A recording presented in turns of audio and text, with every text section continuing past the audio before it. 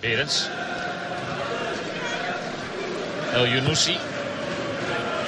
Nou, nog een kans en de goal voor Herenveen van Papadopoulos.